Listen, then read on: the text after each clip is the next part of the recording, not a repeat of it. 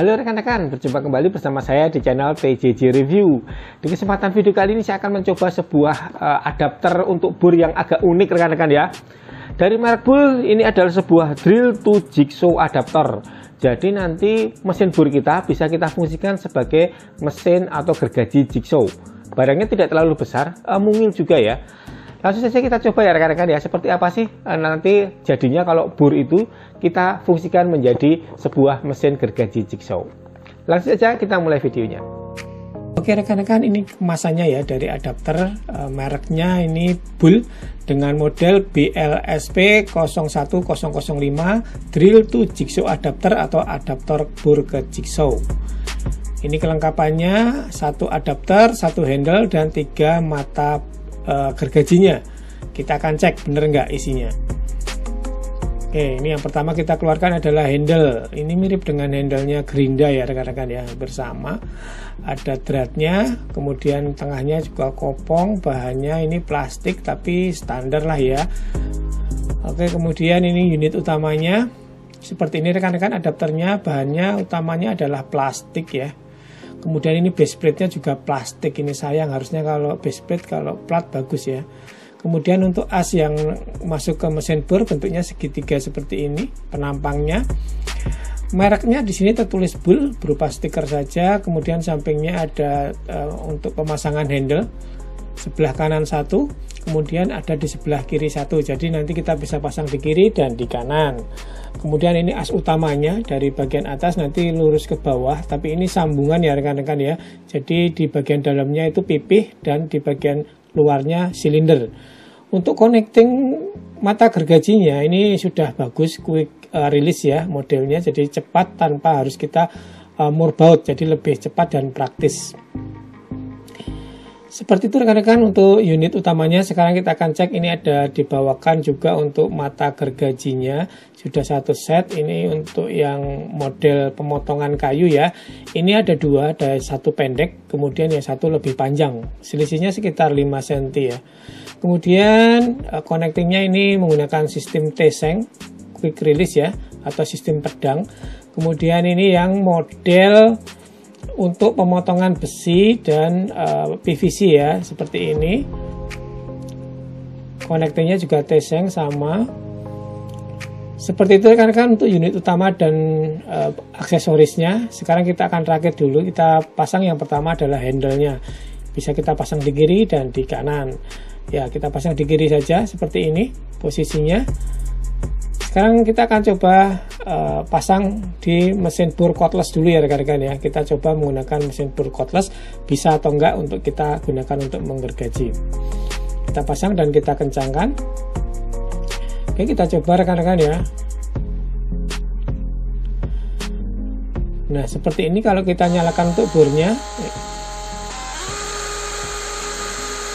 gerakannya jadi maju mundur ya rekan-rekan ya untuk bagian adapternya seperti ini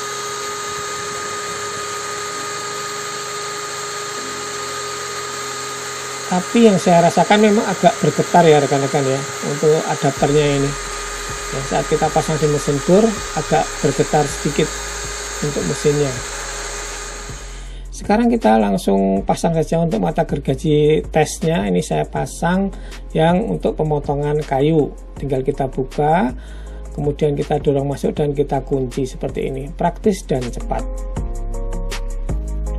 Oke penampakannya seperti ini rekan-rekan. Setelah kita set selesai selanjutnya kita akan langsung coba untuk memotong kayu jati Belanda dengan ketebalan satu setengah cm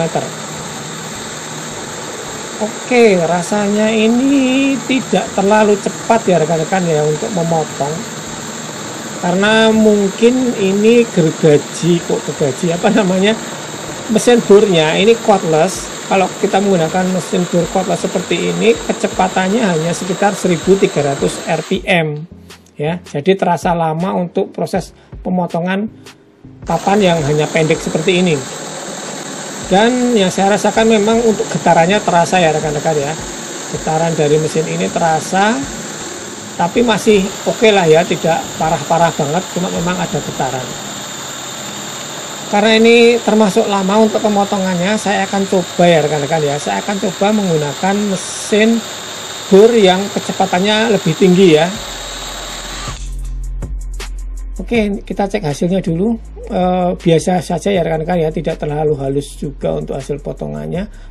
Oke kita akan coba menggunakan mesin bor yang RPM nya lebih tinggi ini. 3200 RPM ini mesin bor elektrik atau bor listrik. Bukan cordless ya kita pasang dulu caknya.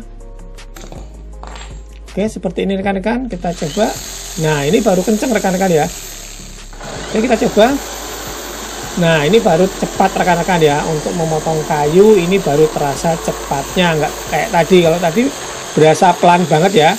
Kalau ini uh, jadi nyaman karena untuk kecepatan potongnya jadi lebih oke. okay. Nah seperti ini rekan-rekan. Sekarang kita coba untuk memotong kayu yang tebal ya. Ini tebalnya sekitar 3 cm rasanya itu saat kita gunakan untuk memotong tebal ini terasa berat rekan-rekan ya. Walaupun ini kecepatannya tadi sudah kita ganti menggunakan bor elektrik tapi ini kalau yang buat yang tebal terasa berat ya rekan-rekan ya untuk memotong. Harus kita dorong lebih kuat lagi jadi memang e, rekomendasi saya kalau adapter ini digunakan untuk memotong yang tidak terlalu tipis saja rekan-rekan ya sekitar 1 sampai satu setengah uh, sentimeter itu sudah oke okay lah untuk adapter seperti ini. Jangan terlalu tebal agak berat untuk pemotongannya. Baiklah kita akan coba lagi. Sekarang kita ganti mata gergajinya menggunakan yang model besi seperti ini. Mata potong besi. Tapi saya akan motong aluminium saja rekan-rekan ya. Karena kalau besi kayaknya terlalu berat juga. Walaupun mungkin bisa. Ini saya gunakan untuk memotong aluminium lancar tidak ada masalah. Ini aluminium pipa ya. Sekarang kita coba untuk memotong pipa PVC seperti ini. Kalau untuk motong pipa PVC lancar banget ya. Tidak ada kendala cepat dan enteng saat kita memotongnya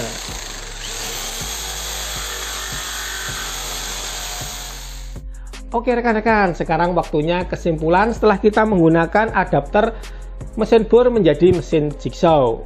Secara umum, adapter ini dapat digunakan layaknya mesin jigsaw ya rekan-rekan ya, cuma memang pada bagian handle-nya memang agak beda. Kemudian dari uh, pemotongannya juga lumayan oke, cuma saya sarankan rekan-rekan sebaiknya menggunakan mesin bor elektrik atau listrik karena kecepatannya bisa sampai di 3000 rpm kalau kita menggunakan mesin bor cordless ini kecepatannya hanya sekitar 1300an ya. Jadi kurang cepat untuk jenis mata potong jigsaw. Karena standar untuk uh, jigsaw itu rpm nya adalah sekitar 3000an jadi lebih cocok menggunakan mesin bor elektrik kalau yang perlu sebagai catatan adalah memang di bagian bawahnya di sini sebenarnya harusnya plat besi ya rekan-rekan ya di bagian base plate-nya ini. Cuma sayang ini masih plastik jadi rawan untuk uh, cepat aus saja kalau kita sering gunakan untuk pemotongan uh, pada bagian plat ataupun uh, benda yang agak keras. Kemudian yang jadi catatan lagi adalah saat kita gunakan memang agak ada sedikit getaran ya rekan-rekan ya. Apalagi kita menggunakan speed yang 3000 rpm getarannya akan semakin cepat ya. Jadi agak kurang nyaman saja. Tapi secara fungsi secara performa sih oke okay ya rekan-rekan ya. Tidak ada masalah.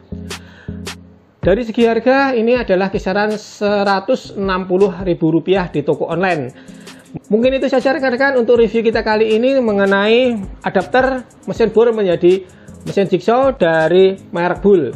Buat rekan-rekan yang tertarik dengan adapter ini, rekan-rekan bisa cek di deskripsi video. Di sana saya sertakan untuk link pembelian dan keterangan lengkap mengenai adapter mesin jigsaw ini. Terima kasih buat rekan-rekan yang sudah menonton video ini dari awal sampai akhir. Jangan lupa diklik dulu tombol subscribe-nya. Yang suka dengan video ini silahkan klik like. Yang tidak suka mau dislike juga tidak apa-apa. Sampai berjumpa di video selanjutnya dari channel TJJ Review. Terima kasih dan tetap semangat.